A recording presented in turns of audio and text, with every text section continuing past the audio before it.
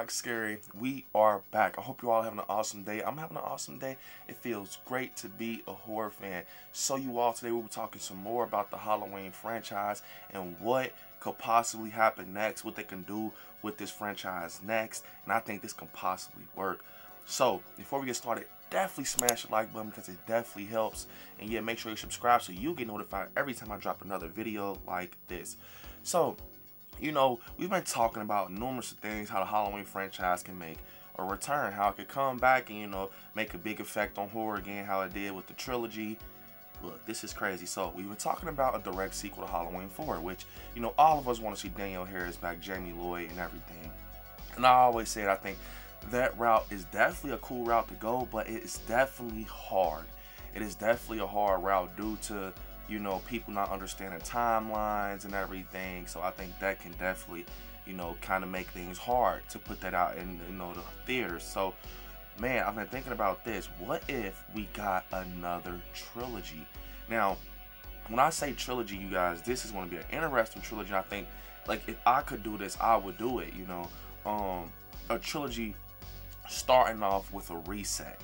Now, this is crazy. So, what I mean is, okay, we reset the whole franchise, right? We reset the whole franchise, and we start from the beginning of Halloween 1963 with Kid Myers taking out Judith.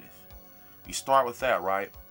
And we had that little, you know, thing going on, and it, you know, goes to 78. Now we have adult Michael, and he he comes back to Haddonfield, and, and he does what he does. That alone right there is the beginning of this trilogy, Halloween 78. Then we can do our own version of like a Halloween 2. We can get a Halloween 2, um, you know, if you want to go that hospital route, go that hospital route, whatever route you want to go. You can even start from a fresh story with Halloween 2. Hell, you can just make it seem like, you know, Michael just got up out that backyard. He's back in Haddonfield, continuing in the same night with a different group of people. You could do a time jump. Um, I would like to see that. Like, may, maybe okay, even a time jump would be crazy. So, say when Michael basically got shot down um, off the balcony, he gets up, kind of similar to how it was in the flashback. They showed we, they showed us what happened afterwards. He ends up in the alley with Hawkins, which is a very cool scene. But we have Michael just go out, you know, into the darkness, maybe to, even to another town or something. Who knows? We just see him get up. He never got, you know, obtained and took the Smith's Grove or anything like that. You know, we just have Michael out there. Now he's became this urban legend, this myth of Haddonfield, right? And that alone right there can, you know, we get a time jump that Michael makes a return back to home. You know, that's the magnet to him, him returning back to home. So if he comes back home in part two, that already creates a whole nother story. You know, him on his journey to home, he's going to take people out. And then you could do a third film. You know, originally Halloween season or season of the Halloween 3 season of which was technically the third film. But you know how people feel about that. Personally, I love it. It's grown on me since I was a kid. But this will give us, you know, another chance with the franchise. You gotta follow me. So kind of take Halloween 3 out. Now we got a real live third film for Halloween with Michael in it full blown. Right there alone is the trilogy. You could tell the story in those three movies. You know, I know I'm not trying to disrespect H2O, Halloween 4, 5, Resurrection, all that. But you know what I'm saying? Like a straightforward Halloween story ending. You know, we got the beginning of 78. We got the middle and we got the end. Just pretty much like three movies that's telling the story and boom that's the end david gordon green took place off of 78 made his uh, you know direct sequel equal to 78 then he did kills and he did end so that was his three films I'm saying start the trilogy from a reset. What I mean, and you know what I mean by that is like completely start fresh from Michael opening up the drawer. Just your own vision. Do what you want to do with it. Just make sure you pay respect to the franchise and you know the story of Michael Myers. But I think that would be so crazy, bro. I was just thinking about that. Like I would love to see that. Like someone being able to tell the Halloween story in three movies you know, just kind of just a straightforward, solid story. None of that extra shit. You know, we, we got a lot of extra stuff in like Halloween 5 and 6, The Cult of Thorn and all that. No, just three straightforward movies. Like like I said, you can have that reset. Stick it to that. You can have Airon Armstrong as the shape. And you can have a story continue. You know, you can even have, you know, a Laurie Strode. Pick a, a young lady out there in Hollywood that resembles Jamie Lee Curtis that has that vibe or whatever. You can even yeah yeah just go that route and have that that teenage aspect through Haddonfield. I think that would be crazy. and just tell your story. Tell your story because when you promote that out and with a trailer, a new beginning, you know, uh, a new story told, people are gonna be like, oh, so they're remaking it, and that's what's gonna bring a crowd to you know the theaters and be like, okay, they're remaking Halloween. This is not continuing, so this is a fresh start, like similar to what Rob Zombie did. You know, his just, you know, I love 2007 Halloween, but his just turned out to be bad towards the end. You know, I posted, I got a third film with Rob Zombie's films, but it didn't push forward. It's gonna be actually in 3D, but I think that'll be crazy, like similar to like the flashback, you know, that that look, that grainy look, you know, the the cops, how the cops looked, and how Airon Armstrong looked the, as the shape, the scenes with the with Lonnie and the Mulaney's, you can definitely pull off a freaking reset, a reset at Halloween, and you know, like to like movies like you know X, um, the Black Phone, you can really take that look and run with it, and I think that um that will be a perfect way to do it when Halloween comes back you know, do that reset, do that second film, do that third film, close out the story. You know, um, that will be a. I, I will be interested in that. I don't know about you guys. Comment down below, but I can just see it after seeing that flashback and kills. You know, Michael. We get and they had a younger Michael and kills that looked it just like him. So I think that would be crazy. Have that opening and, and just have that look and the story retold and boom you know, 78. I would like actually love to see that. I'm not saying that they can possibly do it because of kills.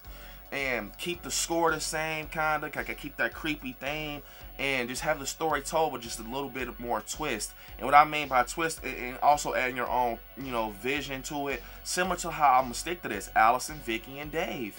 You can make your dialogue similar to that type of dialogue. Your characters similar to those type of characters. You know, I think that will work you know how Danielle Harris and Scout was and Rob Zombie's like you can um really do stuff like that to make it have a new feel and I think that's what the next guy should do that takes on Halloween.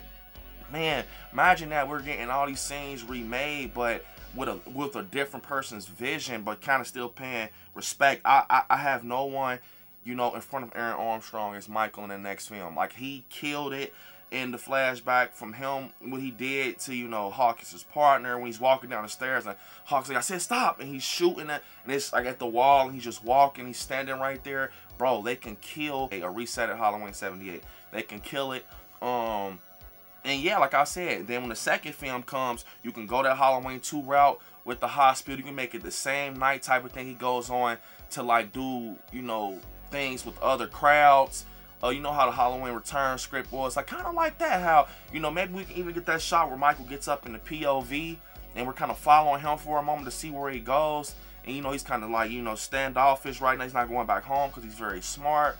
And you know he's killing other people. That creates another story on the sideline. But yeah, or like I said, in all reality, one thing I always thought about, we seen the um, flashback and kills. Michael went back to the house um, that night after he he got shot off the balcony, and you know it would be crazy to see a Halloween where they actually take down the house. They take the whole foundation of the house, then they burn it to the ground because of the stories and everything that happened. It's still standing years later. You know what I'm saying? I think in all reality, that house would have been burned down. Like someone, like you know, a mob or something would have just took that house down. I thought that was going to happen in Kills. They were going to just, you know, basically bulldoze the house and, um, you know, just knock it down to nothing. And it just became something where, you know, it actually it's just nothing there. And I want to say, is it in Halloween Kills? I want to say in one of these books that they actually took the house down in Halloween Kills. Maybe I'm tripping out in the Halloween Kills novel. But uh, I think that would be crazy for a sequel where you got Michael out here trying to target, you know, his house and go back home. Whole time is nothing there. And that creates a whole story alone, kind of how and Halloween ends and forced him to go to the cave. But that I feel like that was too late. I feel like it'll create a bigger problem if you introduced that earlier in the trilogy. And now you got Michael out on the loose. So that makes a lot of, you know, aggressiveness and animosity in the third film. You know, I think that would have been crazy. And if we would have seen it, you know, Michael and Michael probably just standing across the street, just looking, you know, and he just walks off into the darkness, and it creates an anger in him. You know what I'm saying? I think that would be crazy for a second film, and it kind of, you know, he's on a rampage, similar to Kills. He's just killing everyone because his house is jacked up and he, he has nothing to go back to. and the third film, you can close it out how you want. You know, it could be a full circle moment, whatever you want to do. I just was thinking about that, like, man, for the next person, just doing a, a, you know a trilogy, sticking to the roots, telling the story your way, but just paying respect, keeping some of the methods that cannot be changed in your trilogy in your reset of Halloween 78. I think things like that, bro, could work. Like you know, seriously, because because I think that just because Rob Zombie did what he did doesn't mean another person going to fail at it. You got to love the franchise, and I think sometimes people think they love the franchise, but not as much as they think they do. Because I feel like you know Halloween it's a lot man. It's a formula. It's a very thin you know thin line between certain things with Halloween and it's a, it's a straightforward formula. And I think that this could be a way first off to introduce them into a different lane it can make things you know ongoing for the future for Halloween and, and stuff like that and I just think that this needs to happen after what happened to Ends. A full reset, but also make it a trilogy. Three stories told to wrap the story up. And um, I can't wait to see if something like this happens, man. I'm, I'm really like, damn, this should happen. You know, I really think, or even if you wanted to do it, you can go prequel first, 78 second, third film. You know what I'm saying? You can do a lot with that, man. Prequel first. I heard about a prequel. You know, people saying they would like to see a prequel. So a prequel first, 78 second, and the last film whatever you want to do with that, you know, wrap up the story. Comment down below what you guys think, man. Do you guys think that this could possibly be something that works for the franchise? Let me know down in the comments. But unfortunately, it's the end of the video. Don't forget to hit me up on my social medias I Like Scary on Instagram, I Like Scary underscore on TikTok, right on Facebook, I Like Scary on Twitter. And yeah, you are right there where it says join. Definitely try to click join to become a patron, get exclusive content and benefits of the channel. And yeah, you, I want you to watch some horror movies. Stay scary out there. I love you all. Peace. Until next time.